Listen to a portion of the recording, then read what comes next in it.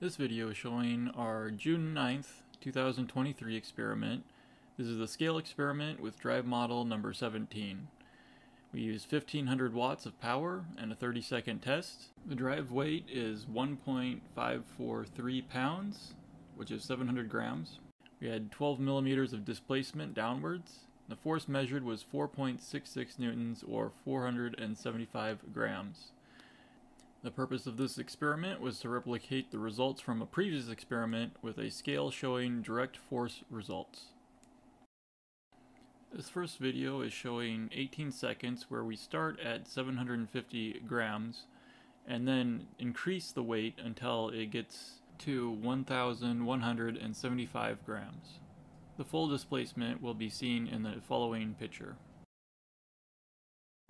This picture just shows where we started and where we finished. And the total amount of newtons that were produced, 4.66. 475 grams were shown displaced on the scale. And this was over 18 seconds at 1500 watts. This scene has three videos captured from three different cameras during the run and shown at real time. In the top left we have the up close video of the scale. In the bottom left we have the full picture of the engine and in the bottom right we have the camera that I'm holding from the very back of the lab.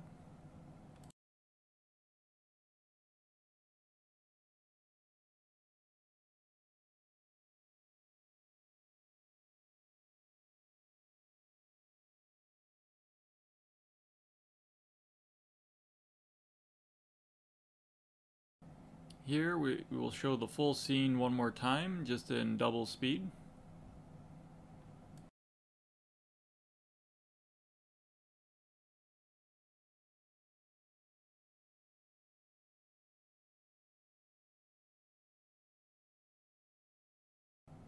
In this scene we have the full wide view in the background and then the close-up shot of the scale and these are synced together and this will be playing in real time.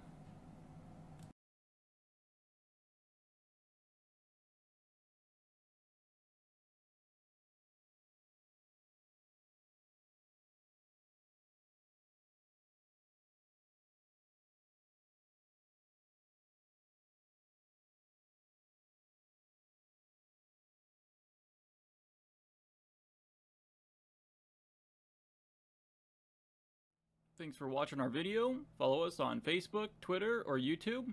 Check out our website at qed-ne.